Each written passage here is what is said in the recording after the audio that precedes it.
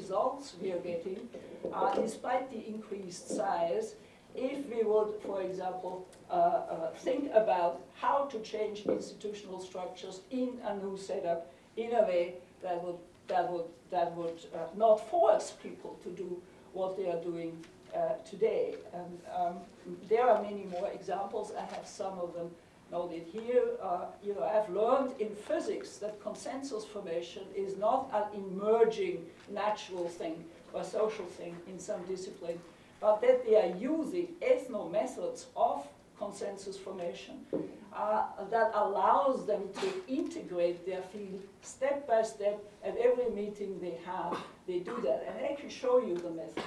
I can demonstrate the methods. Uh, and similar things happen in other disciplines. Now, I'm not arguing for a forced consensus. Please don't get me wrong.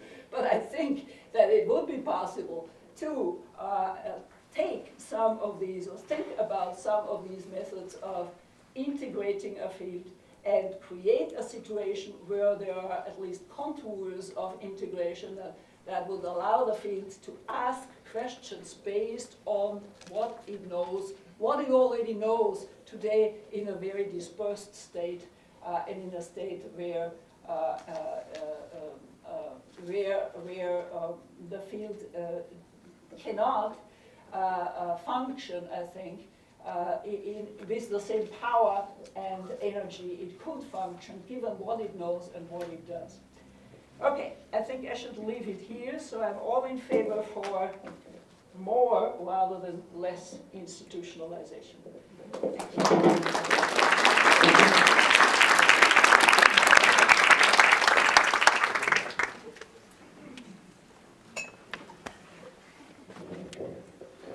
I think each of us could have followed the other in any order and introduced the other with the same Pythonian phrase that Harry used, and now for something completely different.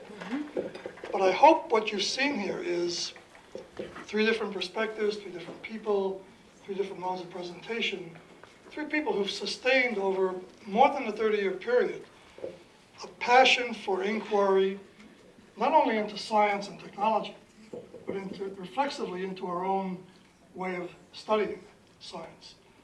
I wanted to share with you uh, just a brief note here in reference to something Karen said about what 1976 meant to us. This is the Constitution. She maybe doesn't remember this. Uh, this is the Constitution for uh, the workshop in the ethnography of scientific practice. Uh, this is a group formed in the conviction that we could offer more to prospective clients by combining our expertise than by working independently.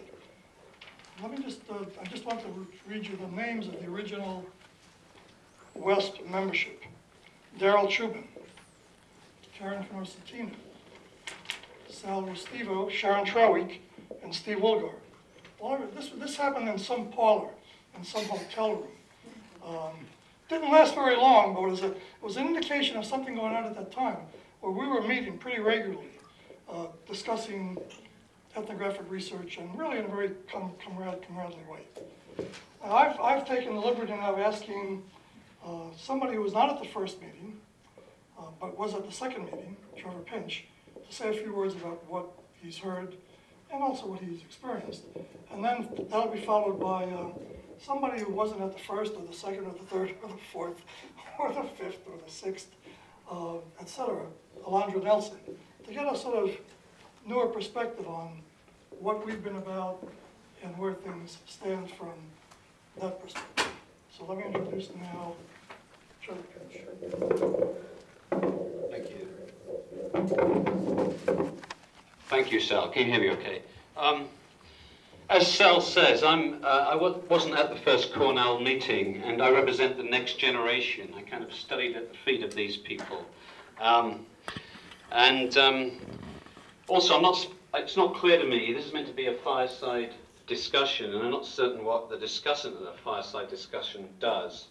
I didn't have access to any of the papers, so I thought, I, I, my, I think the main issue that I want to raise is this, that I'm struck by listening to the presentations, which is that something interesting happens with our society. It starts off as a society built around sociology of science. And it's quite clear that the disciplinary identity of people like Harry Collins is as a sociologist, sociology of scientific knowledge in particular. It starts off for Karen as sociology of science, becomes something more interdisciplinary later on. And for Sal, it's something different again, coming from this Marxist perspective originally, science for the people movement. And I think the thing is this, in reflecting on our society, that there are many more other perspectives in our society than these ones. But the society starts off, there's no doubt about it, back in 1976, and that was my own experience, as being about the sociology of science. So in, in thinking about this issue, I've been trying to think why doesn't the sociology of science or the sociology of scientific knowledge actually institutionalize? And why do we become this much more broader thing? And, so some reflections about that, really. Um, so what was I doing? I guess it's time to confess. What was I doing in 1976? Well, I was just beginning my adventures in sporadic unemployment. I guess I was becoming a sociologist of science in what was to become Thatcherite Britain. I just finished my master's degree at Manchester University with a, a, figure from the early, early field, Richard Whitley, many of you have forgotten about. And I was moving to Bath University to work on the topic of parapsychology with Harry Collins. Um, I remember Richard Whitley taking me aside before I went to work with Harry. He said to me, Harry's sitting on a pile of data down there in Bath, but he needs theory badly. and when I arrived in Bath, Harry told me, forget that theory you learnt at Manchester. I'm going to teach you how to do real empirical research. I tend to think Harry was right on that one.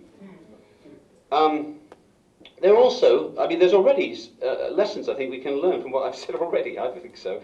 Sociology of science in the UK in 1976 was not all in one camp. There were many different camps. This is a point Harry made. There was Bath, there was York, there was Edinburgh, there was Keele, and Manchester. Not to mention, there was also Paris and Bielefeld.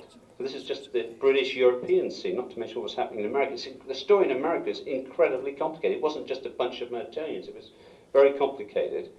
And as I said, the, the other point I'd like to say is that soci sociology of science was indeed the field back then, not science studies. Just think about those journals that came out.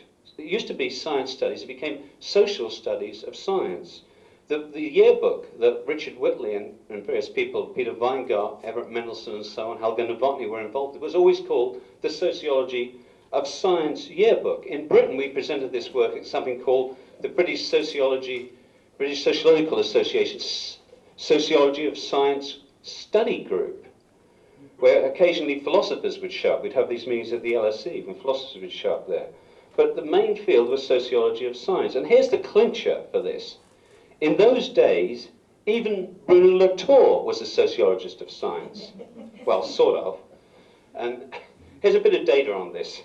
And I, I, remember going, you always remember important presentations in your life. My first presentation in America was in 1977 at a little conference that Bruno Latour had organized at the Salk Institute. And I was very nervous. First ever presentation in America, and I was talking about parapsychology. At dinner, the night before, I remember this dinner very well. Karen was there, Harry Collins was there, Joe Gusfield, a very well-known sociologist with whom I stayed, Randall Collins was there, and Aaron Cicourel was there. And this was Bruno's reference group, and they were all sociologists. Bruno was working with Steve Woolgar, a British sociologist who'd been trained by another British sociologist, Michael Mulkay. So what happens to the field of sociology of science between 1976 and, say, 1990? That's when I left Britain. Um, and the answer is that the field of sociology of science fails to institutionalize in the UK. Now, here's an amazing fact. I didn't get to ever teach sociology of science, although I was a lecturer, which is equivalent of assistant professor in, in a British department for seven years at York, a well-known sociology department, before I came to America, until I came to Cornell. You could not teach the sociology of science as an undergraduate course in England. Michael Mulkay did not teach the sociology of science you had always had to find ways of disguising the sociology of science as something else, like rationality and relativism was a typical course we'd teach, or just qualitative methods. And I think that's really interesting in thinking about what happens to the sociology of science. You can't teach this, there's no undergraduates, there's hardly any PhD students in Britain. Then we get sociologists of science such as Pickering, myself, Steve, Steve Shapin, coming to the US. And then when you move to the US, when we moved to the US, I think we had hopes that maybe at last the sociology of science would be institutionalized given all the resources that the Americans have. But no, American sociologists are not interested in the sociology of science. And we're in this, what I think is a very different field, which is science studies. And it's got different names, science, technology, and medicine. But the character of, of this field seems to be they're different objects of inquiry. It's like in the early days, Mulkay used to talk about astronomy as a field that's going to areas of ignorance, as though new topics are coming up all the while. And we move into, and I've done this as well in my own work. We find technology. I found music recently as a topic, and we're drawing on more and more approaches. Feminist scholarship becomes important. Anthropology becomes important. Semiotics becomes important. So it's almost like there's a different field that's institutionalizing, and that is science and technology studies, as opposed to the sociology of science. So in framing questions, uh, such as Sal presented about, which often are uh, answered in terms of how has the sociology of science progressed, I think it's, we have to think, well, the sociology of science has become something else. Maybe the sociology of scientific knowledge, in Harry's sense, has continued. But it's much, has much, much less influence than it had in the early days, and that excitement certainly seems to have gone away. I remember Harry he won't like me for this, coming to Cornell, giving a talk, telling all our grad students, well, we're in a normal science phase now, all the exciting discoveries have been made. um, so, um, remember that, Harry? so let, let, me just end up with one comment. Well, I, I, think we should bring our other discussant and, and, and the rest of you into this fireside. I think you know, as we think about these sort of events, reflecting back on 1976 and all that, and this is where we bring in Malcolm Ashmore, we do need to be reflexive about it. Rather than acting like scientists and endorsing some simple origin myth, like the four lab studies in California myth, we should do justice to the real tapestry from which science and technology studies is being woven. We need to trace, I think, all the threads that, have been woven into today's work. Threads, some of which have become very threadbare and have vanished, as well as the threads that are still strong. If we don't do this, I think there's a real danger of something much worse happening, which is that the tapestry as a whole will start to unravel.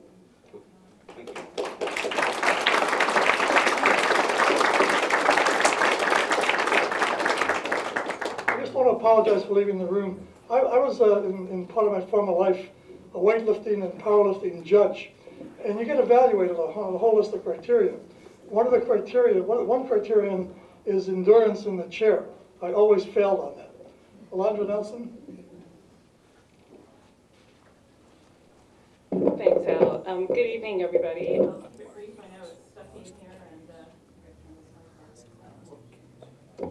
Okay. Um, so Sal charged me in the spring with speaking for the younger generation. So I began with an apology to the junior faculty, postdocs, and graduate students here, because I know I can't possibly speak for you and all of your experiences in the 10 minutes or so I've been given.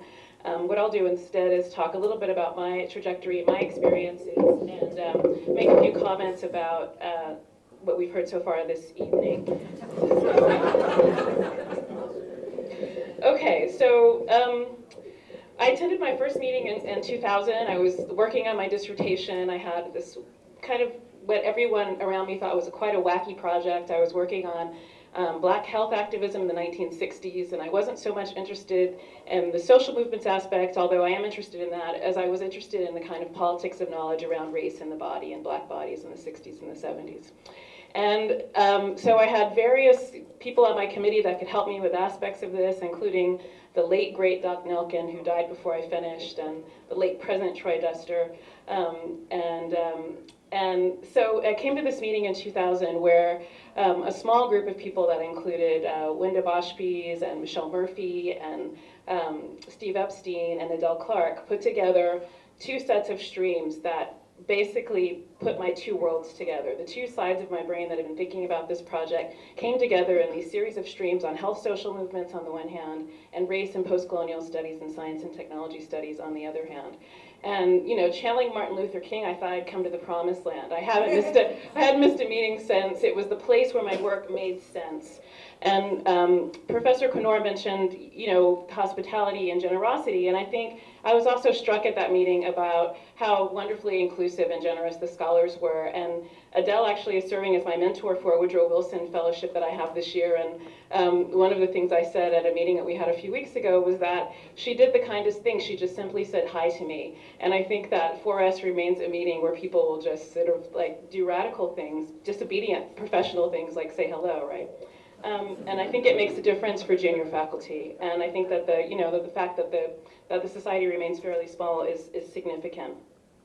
So, um, so um, I guess I just wanted to say a little bit about my work and then I'll say a little bit about tonight. Um, so I was looking for frames of reference and role models for the work that I sought to do and continue to do on racial formation processes in science, technology, and medicine.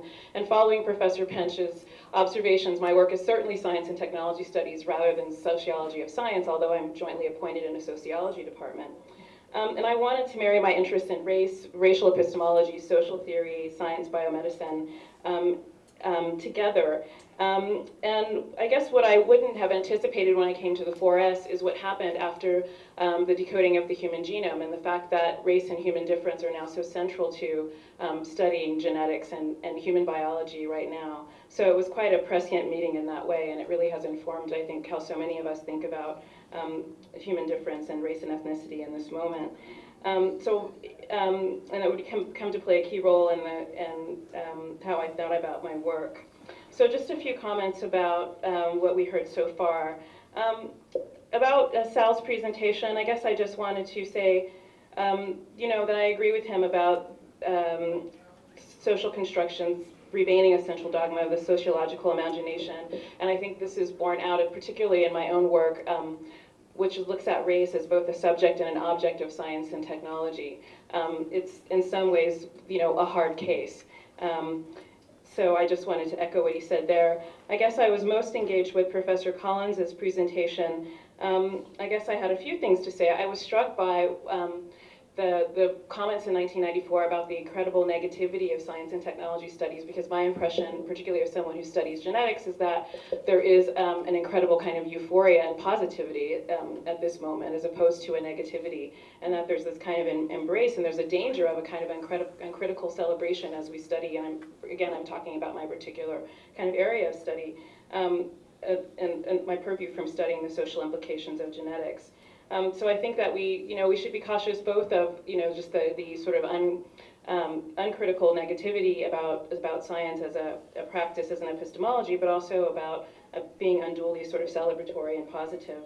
Um, let's see, I wanted to also say a few words about um, how science has changed. I think any, uh, one of the things that didn't come up in any of the three um, presentations was how science has radically changed since 1976. And and has changed the way that we need to look at it. And my work is really about the public understanding of science. My new work is on um, consumers of genetic genealogy tracing tests. And I do some work, you know, interviews and some field work in laboratories, but I'm mostly interested in sort of outcomes and social implications.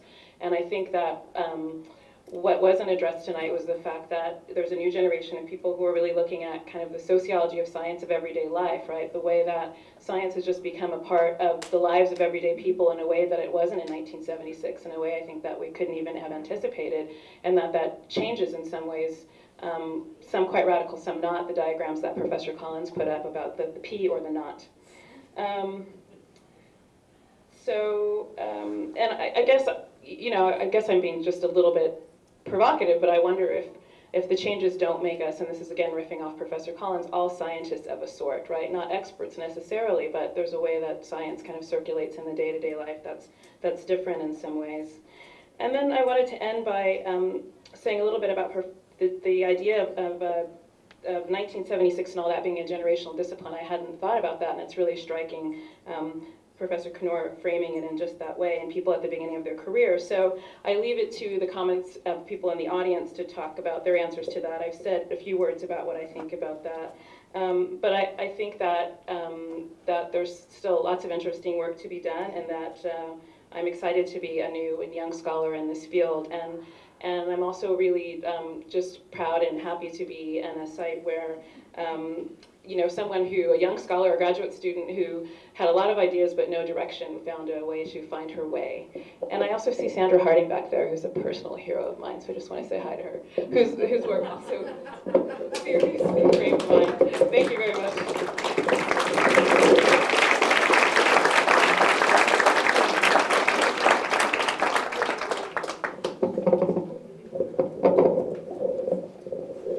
We have uh, actually quite a bit of time, thanks to my great organizational abilities, uh, for questions from the audience.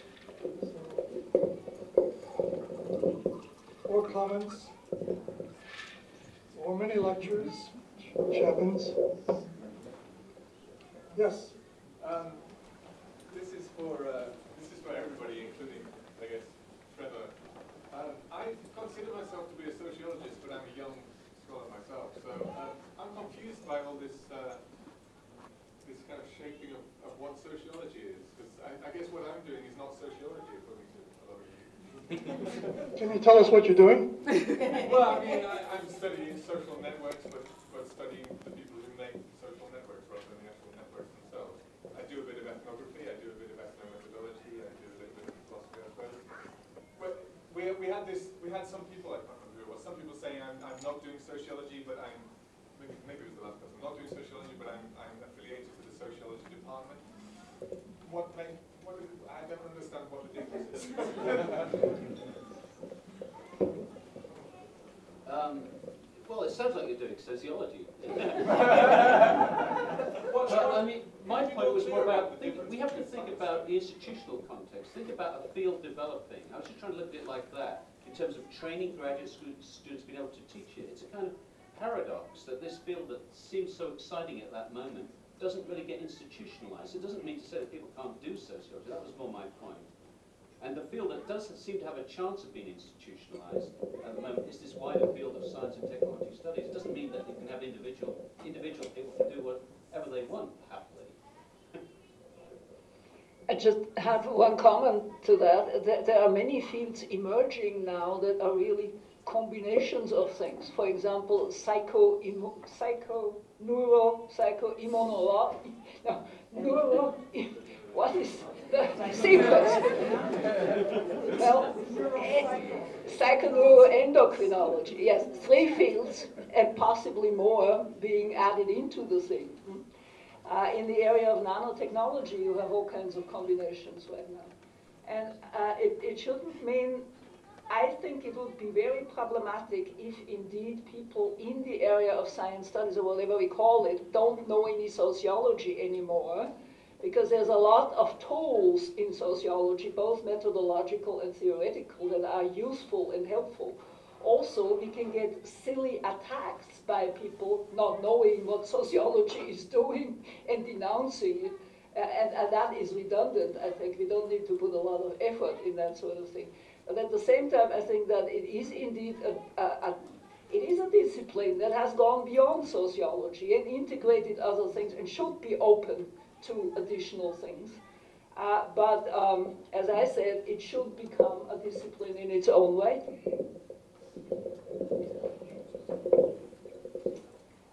So carry on with your sociology, yes.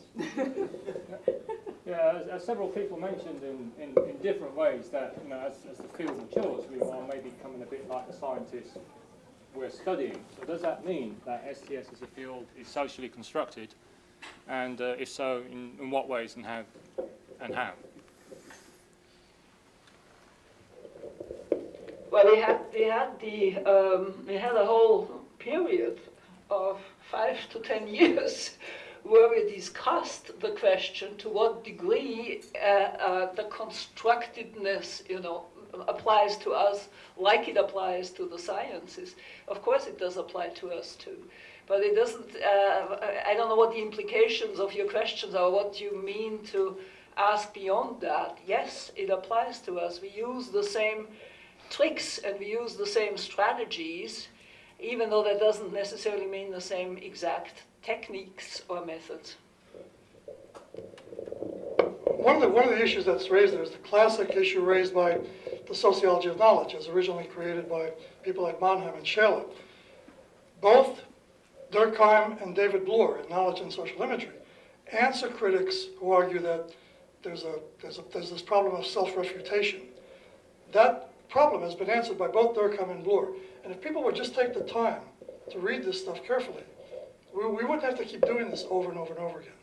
I want to say, but by one, one, one thing, one person who wasn't at the 1976 meeting was David Bloor.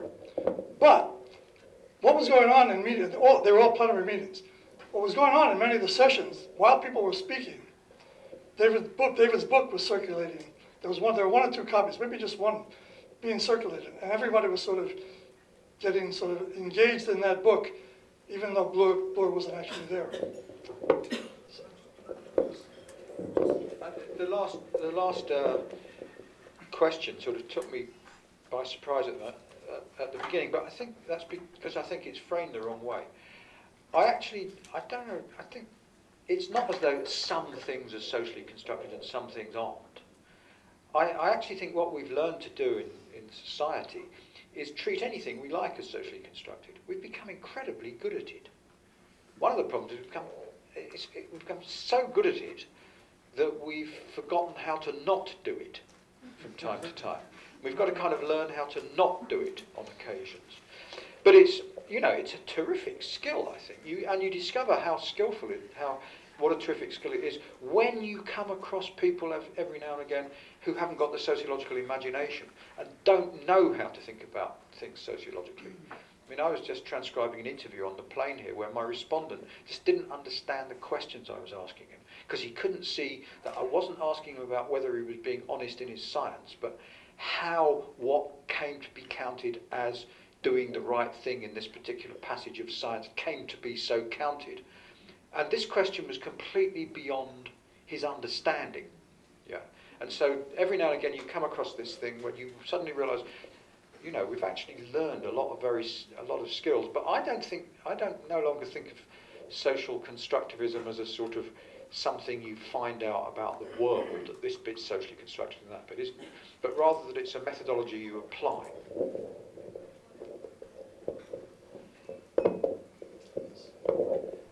I also wanted to address the uh, institutional issue, and I do this as, a, I suppose, a, a fellow traveler uh, for about 20 years. I went to for my first meeting in I think '84, um, and and I, the point I want to make is that uh, we have to look at the institutionalization of whatever we call this activity in relation to the institutions with, within which they find a home, and that's by and large universities. I, again, I speak primarily from an American experience, but some, some knowledge of Britain and, and Scandinavia and also Asia. Um, I think of STS as one of a whole series of failed interdisciplinary projects that have failed fundamentally because American universities aren't really capable of dealing with institution with interdisciplinary projects. They only understand disciplines. So when Karen says we need to disciplinize, or some version of that, I'm both saying, yes, we have to because that's the only option. And I also think that that's terrible because whatever it is that's good about this is that it's an anti-discipline. Uh, and that's precisely what makes it open uh, and available. So I, you know, I don't know, I mean, the reason I describe myself as a fellow traveler is having tried at one of the SUNY campuses in the 80s to explore an STS institutionalization. That didn't work. Now I'm in a, in a professional field in informatics where we're doing something which is in, in many ways parallel to a piece of this field, but doing that on, on a professional terrain, which is also in its own way not a discipline, it's not an intellectual activity. So the, the pleasure of STS for me has always been to come and have the kind of lots of different perspectives and yet feel at home. But I also think in an important sense that's purchased at the price of not disciplinizing. And I, you know, I, I feel like it's sort of in that fundamental contradiction and has stayed there for 20 years and, and likely to continue. Well, um, I mean, I, I, I, don't agree with the consequence. I think the time is ripe now for the possibility of institutionalizing a different sort of discipline because there is the example of the natural sciences requiring that, doing that, getting money for it, and flourishing with it. It should be possible. Of course, I agree you can probably not uh, go to the university president and say, we, we want to make this a discipline, uh, and then it would follow that it will be a department and has to comply with all the rules already in existence. You'd have to somehow escape some of these rules, but not necessarily because we want to be more interdisciplinary. I think that they would need to recognize at some point but because we should be more reflexive about what we have learned and apply it to ourselves. We should apply the knowledge we have or we take, we constantly take from other sciences and uh, ask ourselves, how would we set up a thing hmm, that, that doesn't make the mistakes the traditional disciplines make, because they cannot be reflexive, because they are constrained, they are forced into this, even though many of the, uh, the professors and so on, you know, distance themselves. When I go to the anthropologist and tell them, why are you sending, you know, individual people to the field in India to do a case study and then come back and be, you know, with, with very powerless results because it cannot be done that way. Why aren't you allowing them to do it together or some such so that at least there will be some sort of uh, enablement, you know. They, they, they say, oh, well, I, I, agree with you, but we cannot do it. And so you, it, I think maybe that's why I suggested a, a different institutional form, like that of a center. If it could be done somewhere, then others could follow would be the way to do it and to include in that center the advisory function because that will be a very important function and we don't necessarily want to leave it to consulting corporations and firms. And we don't want to leave it to knowledge management. And they are doing it and they're going to do it like they do it in some sociology areas already. We want to retain or bring back to us many of you do that anyway so we want to make that an official component of a newly institutionalized field that works into itself the things it has learned, learned about science.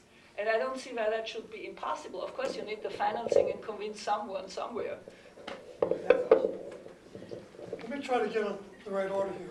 Uh, so, uh, I don't want to be negative, uh, but just to back up the last speaker, just thinking of the experience in Australia, where during the 80s we would have had about probably five fairly significant uh, STS units, which actually grew out of history and philosophy of science units. Uh, and I think it was because sociology has always been, in general, very resistant to STS in Australia. Careful what I say with people behind me. But what's interesting is that uh, the trade-off of changing to HPS to STS units was extraordinarily exciting, extraordinarily fruitful, and if you look at the situation today, a complete failure institutionally because there's practically nothing left. Uh, and there's lots of individuals who've done extraordinarily well, but the field has dwindled away. Now, some of that's the traditional micro-political problems, but also it is, I think, uh, an indicator of if you don't anchor yourself in some kind of disciplines, you're very vulnerable to political change uh, with governments and funding. So the trade-offs, I think, are quite huge and not to be, I think it's easy perhaps in the US where there's more resources to talk about institutionalising, or parts of the US. I should say, that, I know your system is very complicated as well. But if you haven't got resources, it would be nice to say you're a sociologist. If you've got resources, it's nice to perhaps be an STS person. Can I add another uh, national perspective? I think, Carol, I don't think we, we can do what you want us to do.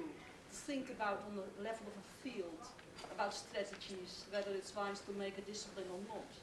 I think we should learn from all the different national perspectives here, and I'm from the Netherlands, and well, we have a long fight all the time, but I think I agree with the previous speaker that it's a very richness being not being a discipline, and not being, you know, framed into a specific structure because at least from my experience now working in the field for more than 20 years, it is, we, since two, uh, three years now in Twente, we have a department where other disciplines joined us. So we have science studies, we have health sciences, we have policy studies, all joined together. And this is interdisciplinary. We have very many different methods. But we are seen as a big unit now. And this is, I think, because we were not arguing that we want to stick to our own disciplinary methods, like saying I'm a sociologist or I'm a philosopher. No, it's about the level about how you can convince the dean or whatever at the university that you're studying topics that are very relevant for policymakers or for society at large. So it's still also coming back to the roots of the STS movement in the beginning. So that's a bit from the Dutch perspective. Yeah, I don't think uh, I meant anything else than that. I didn't mean we should become sociology or some such of, of science. I meant we should, we have a wonderfully designed topic. We have a bounded unit, science or knowledge areas. We have a unit that's still studyable, that is very important to societies today. It is called the driver of the postmodern or post-industrial or post-capitalist or whatever, the future, the global world. It's called the driver of that everywhere. And we are uh, enabled to study, we have a history of studying it for, for more than 30 years.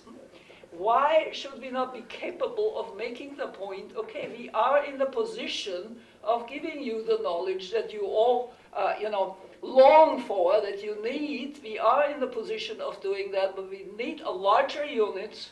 We need some resources. We need the capacity to teach ourselves and not to be addendums to a history. That, that is precisely the problem, you know. As long as you remain a committee, like we are in Chicago, or, or some program, or some such completely outside, uh, nobody takes you serious. And, and that needs to change, either by becoming a department and negotiating a different, you know, some different rules that, that, that apply being an interdisciplinary department, and, but insisting as a reflexive discipline that has studied the sciences that some of the mechanisms should change. And who, if not we, can make that point? And why don't we make it? Why don't we go to the deans and argue for it? Why is that not happening? Why are we staying, you know, as satellites of other uh, entrenched disciplines that don't change? That is very frustrating. I mean, I, um, I wonder if, I, I would actually like to know, I'd, I'd actually like somebody to work out why these, why these disciplines didn't, didn't actually take off in various countries, because I know why it didn't take off in Britain. I mean, Trevor said it didn't take off in Britain, and it hasn't got, well, it's got a slight, had a slight chance in Scotland. The reason it didn't take off in Britain is because British departments make money by teaching students, and the stuff is too hard for students because they have to combine the two cultures. Okay, it's sort of taking off now with, with, with some of the softer sciences coming in, but the, you know, when, certainly when it used to be, there used to be a lot of physics studies. The physicists didn't want to do the sociology, and the sociologists certainly couldn't do the phys- physics, and that's it was, it was a very contingent thing like that. I mean, I remember from my early days, I thought, we will build a discipline here. And I was watching at the same time criminology, which was expanding enormously. I think, well, we'll expand like criminology. But we never had a chance for those reasons. And maybe there's contingent things in other countries. Uh, Let me make a comment about my own experience at RPI. As our students have become increasingly interdisciplinary and open, in the sense some of you have mentioned, one of the things that's open now for discussion and negotiation is, is science social. I found that, I just find that impossible to deal with. Okay, so here we have somebody back there, yes? Yeah, yeah, yeah. You, uh, Excuse me, I, I took my glasses off, so sorry. if I don't, if I, I, if I know you and I don't call you by name, I'm sorry. Judy, actually. Um, it's just that, I mean, I think some of us are feeling sort of, I mean, this is slightly tangential, but, but feeling slightly kind of alienated from the discussion in terms of what the object of our joint kind of project is. And I'm quite struck by how all the speakers have much more come from science studies and much more been emphasising science studies. And, you know, for me, the big move has been towards the socio-technical, and I know all the speakers would totally kind of agree with that. But, you know, when I kind of emphasise some of the things we've kind of learnt and talk about its materiality, it's about knowledge and objects together, um, it's about those kind of concrete things. And so, and once you start doing that, then the whole object of the discussion is less kind of science studies, but STS, which is going back to something that kind of Trevor said. And, you know, I'm now moving into mobile phones for kind of various reasons. And people say to me, oh gosh, why don't you go to the new media conferences, the International Internet Conference, you know, there's a million other conferences on informatics, you know, um, I, many, many things. And I don't um, want to just go to those things, I want to bring kind of those interests here. So, you know, partly the difficulty is what the kind of, how, how we differently really conceptualize the kind of um, object, subject, and, and, you know, partly, Trevor, I was just curious when you said, well, it's, if it's going to be institutionalized, then it's STS. I mean, you know, I personally am sort of rather happy about that, but were you making a different sort of point? No, I agree, I agree with what you said, and that would include the sort of research you just mentioned. I mean, that would, under, the, uh, under what we call S&TS, the, the ampersand is important for us as well, differentiated science, technology, and society. What we call at Cornell S&TS, that sort of research would fit in.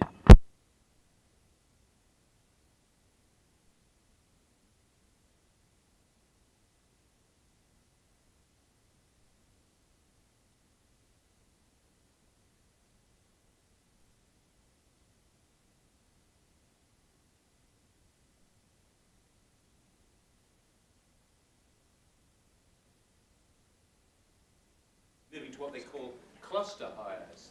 And this is perfect for our field, these cluster hires. We, we make, this is what happened at Wisconsin, you make groups of hires in related disciplines, and we are really nicely positioned for a lot of these clusters. So there is this you know, chance of getting new resources, new positions, I think, at this moment. We've been here quite a while. Do people, are really, people who really want to ask something or say something, or are we ready to break? Let's break. Thank you all very much.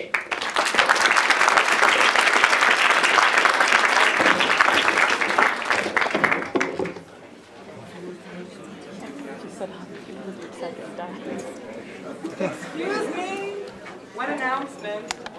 One, welcome Vancouver. I am Wenda Bauchspies, the one responsible. Hello, hello.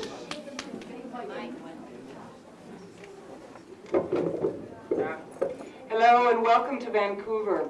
I'm Wenda Bauchspies, the one who's responsible for putting this massive conference together. And I'm so delighted to see all of you here on a Wednesday night. And shortly at 8.30, the junior single mingling will be right here in this room. And we do need to um, bring in the bar. There will be a cash bar here. If you happen to be hungry, we're really right in the center of everything. And if you just walk out the hotel, turn right, go not even a block, I'm sure you'll find something to grab, eat, come back. So we encourage all of you to come back, mingle. They've got a lot of activities set up, and it's going to be a new event, and hopefully one that will continue it for us. Thank you so much for being here, and there welcome. food at the event? Unfortunately, it's just a cash bar, so if you need some food, there is plenty out on the road. Thank you.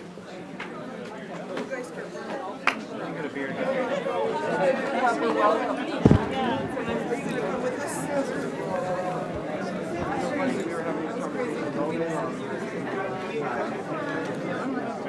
hi，哇！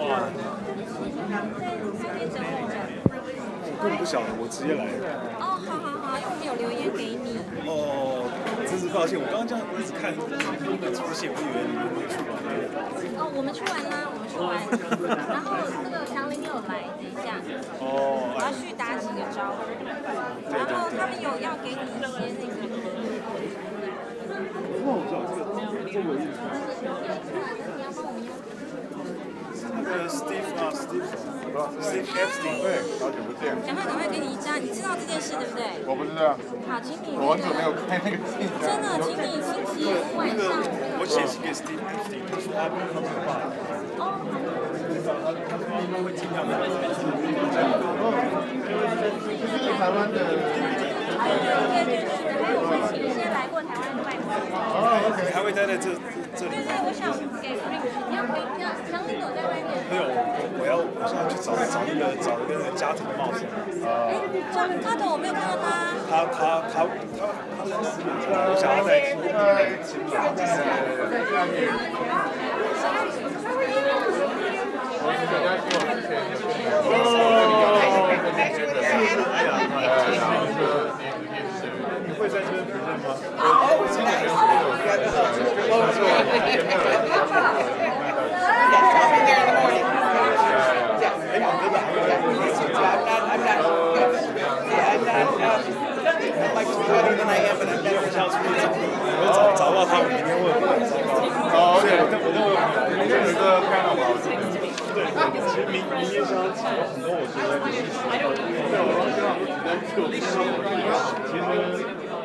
会教你，我觉得现在也就很希望去增加。